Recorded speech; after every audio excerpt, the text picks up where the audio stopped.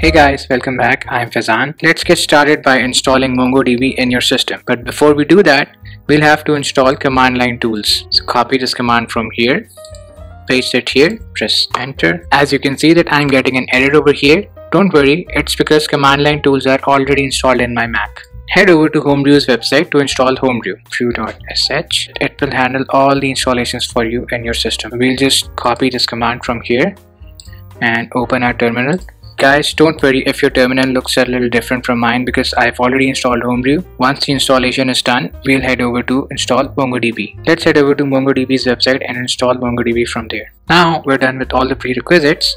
So we'll head over to install MongoDB in our Mac. First we'll download the official MongoDB formula using Homebrew. Next we'll update all the existing formulas and then finally we'll install MongoDB. Let's get started. Copy this command from here and paste it in your terminal. You'll see that we have downloaded MongoDB's official formula. Now head over to the website again and copy the second command. Update all our existing formulas. Paste it here. Enter. Hmm. Why did we got this error? This is because we have configured a shallow clone. Chances are that you might not get this error, but if you do, just copy this command and wait for a while because it this process may take a little longer to complete without providing any feedback. Once the existing formulas are updated, we'll head over to Mongo's website again and we'll finally copy this last command to install MongoDB.